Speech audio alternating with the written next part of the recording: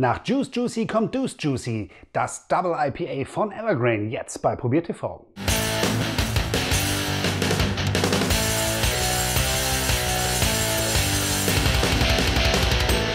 Hey, hallo, servus, herzlich willkommen zu einer neuen Ausgabe von Probier TV. Ich hoffe, es geht euch allen gut und ihr habt genauso Bock auf ein gutes Bier wie ich. Und mein Bier kommt heute wieder aus den USA, aus ähm, dem Bundesstaat Philadelphia und zwar von Evergreen Brewing. Und da habe ich euch ja das Juice Juicy schon vorgestellt und das ist jetzt der große Bruder ähm, oder zumindest der starke Bruder. Äh, den holt man ja mal, wenn einer, einer verkloppen will. Ähm, in dem Fall ist er tatsächlich ein bisschen größer in der Dose. Ähm, jetzt die 16 Ounce Dose. Ähm, ich glaube, das ist äh, ein Pint, das ist ein bisschen mehr als ein äh, halber Liter. Und steht das irgendwo drauf? Nein. Ähm, aber ähm, es ist tatsächlich die Imperial-Variante vom Juice Juicy und ähm, ich lerne ja auch immer gerne was dazu. Deuce ähm, ist tatsächlich der Begriff wie, wie Booze, also ein bisschen ähm, mehr Alkohol und äh, ein bisschen mehr Karussell im Kopf.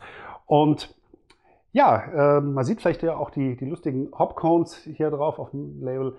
Also da hat man sich wirklich Mühe gegeben. Ich habe noch alte Etiketten von den Dosen gesehen von Evergreen. Ähm, Respekt an den Grafiker, der hat da ganze Arbeit geleistet. Ich habe ja ein bisschen drauf äh, geschaut, weil es gibt sehr wenig Informationen tatsächlich ähm, über diese Biere. Das ist die imperiale Version vom Juice Juicy, ein intensiv äh, äh, kalt gehopftes Double IPA, super easy zu trinken und ähm, ja, äh, loaded with juicy tropical fruit aromas, also äh, voll mit ähm, saftigen tropischen Früchten. Also es würde ja so ein bisschen ähm, auch äh, geschmacklich in eine andere Richtung gehen als äh, das Juice Juicy. Ich bin sehr gespannt und lasst uns das Ganze mal angehen. Die Dosen sind nicht ganz so einfach zu öffnen, zumindest für mich nicht.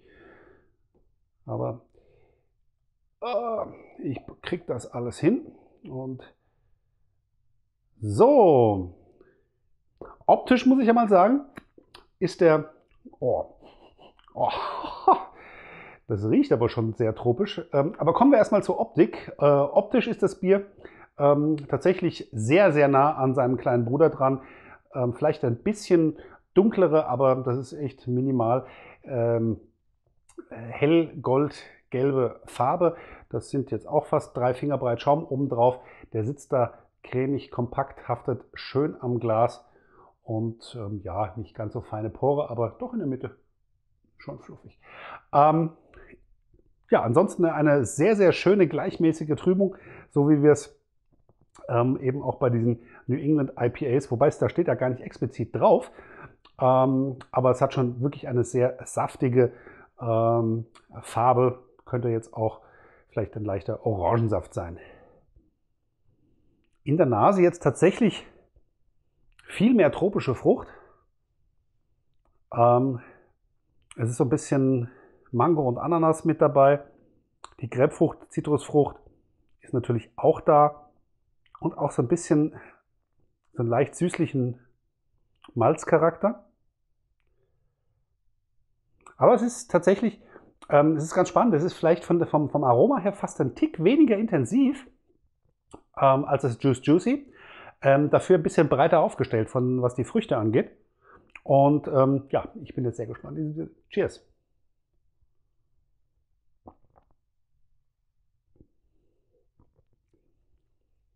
Oh ja. Oh ja. Ähm, ja, ähm, wo fangen wir wieder an? Ähm, es ist tatsächlich ein Bier, äh, was im Gegensatz zu seinem kleinen Bruder, fangen wir mal an der Stelle an, nicht ganz so harzig wirkt.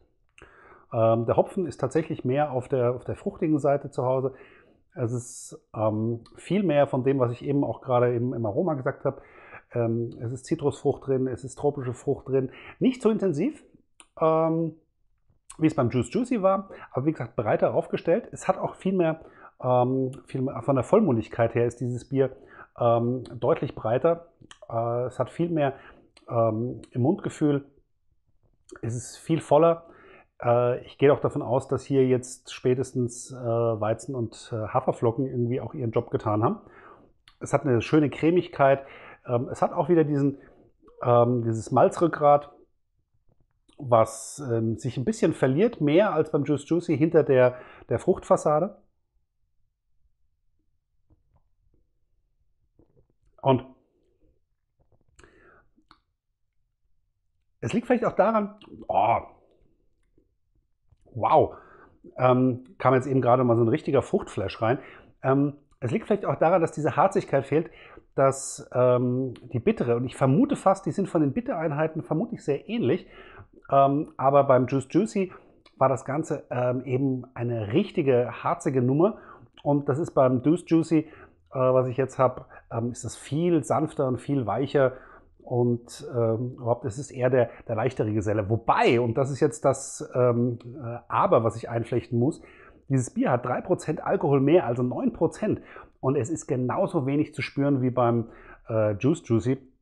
Und ähm, das macht das Bier dann tatsächlich echt schweinegefährlich. Es hat einen schönen und jetzt tatsächlich einen sichtlich satten äh, mittleren Körper, hat eine etwas zurückhaltendere Kohlensäure. Sie ist mehr cremig, ähm, vielleicht nicht ganz so intensiv wie beim ähm, Juice Juicy und ähm, lässt sich aber irrsinnig gut trinken und es kommt hinten raus, und das ist vielleicht das, das, das Spannende, hinten raus kommt dann ähm, eine bittere rein, die äh, eher so eine, ja, äh, mit den Fruchtnoten sich ein bisschen mischt.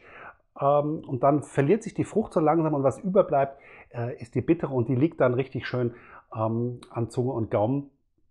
Und äh, man merkt es eigentlich erst, wenn der Schluck schon lange ähm, den Mundraum verlassen hat und sich in Wahrheit so diese, diese, diese, diese Nacharomen äh, einstellen, dann merkt man, hu, ähm, da ist doch auch ein bisschen Bitterhopfen verwendet worden und der kommt dann äh, von hinten raus. Ansonsten ähm, auch diese tropischen Früchte verlieren sich hinten raus ein bisschen. Es bleibt äh, diese Zitrusfrucht, Limette bleibt ein bisschen über.